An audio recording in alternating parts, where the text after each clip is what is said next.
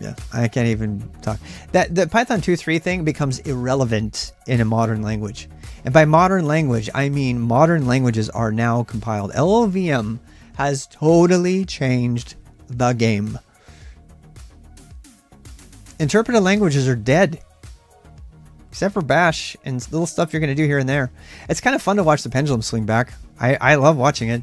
So the you know when it used to be all about the C, right? And then web the web was invented and nobody could nobody wanted to code backend CGI web code in C. So what do we do? And then we started writing shell code and everybody got hacked because shell is really horrible for that. In fact, uh, the example in um, the Linux command line is in shell. It's a CGI script. And then Python came on and seemed like, oh God, thank you. And the whole world went ballistic for Python and PHP. And so we put that everywhere. And all of a sudden, interpreter languages were king. Uh, JavaScript was being used all over the place. Uh, it was interpreted, interpreted, interpreted. That was when all the extra shells came out Z shell, TC shell, fish, everything. It's all about interpreted. Uh, it was all about interpreted, interpreted, interpreted. And and then what? And then so and then Ruby came out, and we had Ruby was pretty much the climax of the interpreted insanity, and I loved it. I was there with them. I was writing, I wrote the INI library for for Ruby. I was right there along with them. I'm not saying that I wasn't a part of it. It's yeah, it's kind of like the centralization versus decentralization. And then all of a sudden, what? And then and all of a sudden, and, and then it got really nuts. So Node came out, right? Ryan Dahl kind of grabbed Node with as much thought as Notch made Minecraft. and he threw it out there, and now the whole world's using Node, which he doesn't use anymore, by the way. He just released Deno. and I did. It was a long time ago, and so then he he he um. So yeah, he, he stumbled on. What what if we put V8? You know, in college, you know, he's experimenting, and so and then so so Node, but it wasn't even Node. It wasn't even Node that was the that was the climax of the interpreter insanity. It was CoffeeScript. CoffeeScript which you can almost track. I, I kid you not. If you look, if you look at the wave, all right. If you look at the wave, CoffeeScript was when good people started making blog posts that said, you know, I appreciate the developers are doing this and everything, and in their snowflake kind of snowflake kind of way, they said, but you know, I just think we should use JavaScript right there. I think we're kind of pushing the boundaries of having an interpreter for an interpreter for an interpreter. I mean, I kid you not. That's what it was. An interpreter for an interpreter for an interpreter. I mean, the interpreter insanity kind of culminated in CoffeeScript. And and then what happened? So why do so why do you why do you do this outside of my of my working hours? Why why do I do this? Oh, uh, I maintain a legacy copy. I didn't know that, but I'm sure you did. I did not know that. I wasn't. This is not a personal attack. So so so you know what I'm saying? And then what? Then Go comes along, and I want to, I don't know this for sure. Go was the first, somebody said, okay, it's time for strict typing again. We need strict typing. We This interpreter insanity's gone crazy. We're not going to call it that, but we're going to move on. Lisp is interpreted one time. That's true too. Uh, and so we need some strict typing. And even I posted in my I posted it in my thing. Guido van Rossum said, I have learned through sad experience." this is exact quote. I have learned through sad experience that for larger projects, strict typing is a requirement. This is exact words. I have the quote in my Discord. You can go look at it.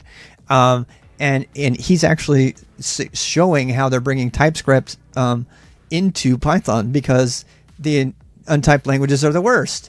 And and so you know, but you got to understand, we had Java. That's what pushed us into the interpreted insanity. Java was so overly strictly typed and so monstrously bad and so draconianly class based blueprints and so anti object oriented programming and it confused the fuck out of everybody. And then what? So everybody's like, oh, please just give me an interpreter language. Any interpreter language, I don't care. And then we went crazy with the interpreter languages and now we're coming back. Now we're coming back. So the whole world is like, we're like, okay, it's time for me to think about my types. And, and, you know, there's another couple disasters. Unity, for example. What happened to Unity script? Did you guys see that one? That was fun. Unity script lived for maybe what three months. you know what I mean? Oh, another one. So go to uh, Godot, Godot or Godot depends on how you say it, right? They had sort of a unit. They had Unity scripts you don't even know it existed. Unity script was JavaScript for Unity, but it was so bad and there were so many errors made with it that everybody like overwhelmingly there's still documentation in it uh, used the C sharp stuff, the mono stuff, right? And so they stuck with that. And so basically everyone was getting burned because of loosely typed languages and like, oh shit, what have we done to ourselves? I mean, CoffeeScript was one where they no, man, no, just no, no, this is no, it's just like the worst of Python plus the worst of JavaScript. and a brand new syntax that I have to learn that I don't even know. It's like, and so, and we totally lost our, lost our focus because of Java, I think I, am going to blame Java and C++ for pushing us into that because that was the only alternative. Like hell no, I don't want I don't want strict inheritance. Oh my god, no. And so we're like, I want a loosey goosey language where I can actually program object-oriented programming, writing, writing Perl code that had to run on 52,000 machines uh, that had to be encapsulated to run on everything. I thank God there was a thing called Perl.exe, which uh, basically took the Perl interpreter uh, bundled it together with the Perl code and unpacked the interpreter and ran it as, as a single operation. If you can think about how wasteful that was, but it was the only way for us to distribute our code in a way that was portable. Period. Uh, and you see this kind of shit with you know Perl virtual environments and stuff like that. Problem is, is you can't bundle that Perl virtual environment and send it along with Perl. I'm sorry, Python. Uh, and so that's essentially what you get with LLVM. That is exactly what LLVM is. It, the only the only downside of LLVM is that the code has to be compiled. That's it. And people want to do that anyway. Perl is still very much a thing. Yep, Perl is still a thing, but not for big applications for what it was intended. And I'm going to actually do a video on that. Uh, regular expressions are the industry standard. There's no debating that. There's overwhelming evidence of that. Uh, the PCI libpcre is included in every other language, uh, pretty much. So that's what Perl is an awk replacement, awk and sed replacement. The end. It was never meant to be more. And you can go watch stupid. You can go to RWX. Uh, you can go to rwx.gg uh, slash uh, stupid or slash don't. I don't remember what it's called. Uh, slash Perl, and I'll give you a big long uh, article about why Perl saying Perl is dead or is a read-only language is stupid because it just means you don't know what Perl. The ability for Perl to even fill in the gap between C and Shell as a back-end language for web development is proof and testament to its amazingness. Was it meant to be a systems language that had thousands of lines of like enterprise code like Python is being used for today? Hell no. It was never meant to do that. It, it's a testament to its amazingness that it was ever even to fill that gap. And so when people uh, uh, yeah, really. People, people who slam Perl, they just they don't know it. So just don't slam it until you know what it is. And what Perl's primary purpose, Larry Wall's purpose was when he made Perl, was to replace sed and awk and tr and cut and all of these things that are like all different. They have different kinds of regular expressions all over the place. His goal in writing Perl was to write a command line tool that would replace those things and, and synchronize. And to this day, it still dominates at that thing. People who use awk and sed and don't know about Perl, I feel sorry for them because they just don't know better and they do it. Perl is on every system that's been built in the last 25 years and it's right there for you to use from the command line. Do you need to write a full script on it? Hell no. Are you a pen tester and you break into a system and you want a powerful thing over there without having to ship over a payload? It's there you be, would be writing your stuff in there. It's got a full HTTP library in it. Actually, it doesn't. You got to get that from CPAN, I think, which is good. The only downside is, is it's a little bit slower to boot because it's a little bit bigger than awk. That's it. And that's not an issue today. So, so yeah, and, but you know, who doesn't want to learn the industry standard regular expressions?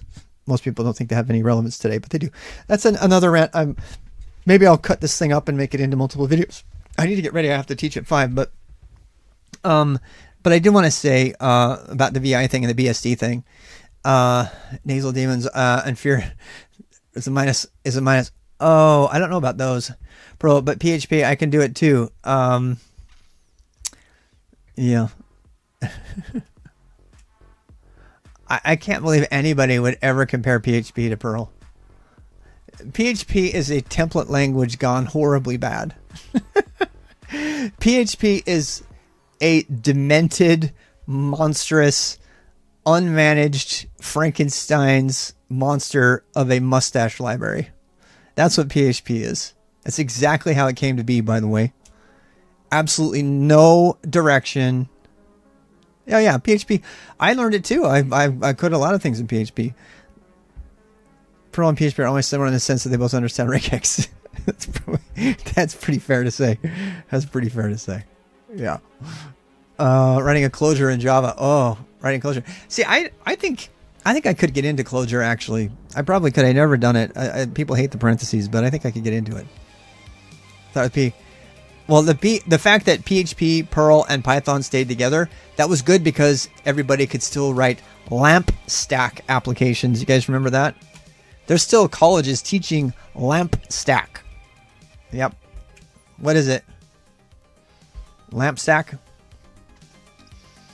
Impressed myself that I learned coding after PHP was my first impression. But you know what? It's like it's whatever brings you to it, you know? And you learn the next thing and go from there. I'm going to take a quick break. Uh, as a Lisper, I really dislike Clojure. Why sell it with Java? because there's a JVM on their enterprise environment and they want to get it. What's your uh, opinion on Scheme? Um, Scheme is, according to Forbes magazine, uh, Scheme was one of the two highest paid languages you've never heard of in 2015. Uh, the other one, anybody want to guess? Go. Uh, everybody knows Go now. It's like it's not not a secret anymore. So um, Scheme and Clojure uh, and the JVM languages, I think they're I think they have the their biggest relevance is in enterprise environments that have already invested a lot of money in Java virtual machines. So they've already invested in the Java ecosystem. So those kind of things. This is why you see Jython too, right? We saw a lot of Jython at IBM uh, because because people have already invested in some sort of JVM environment and they just want to put it on top of everything else. Um, or did I get that wrong?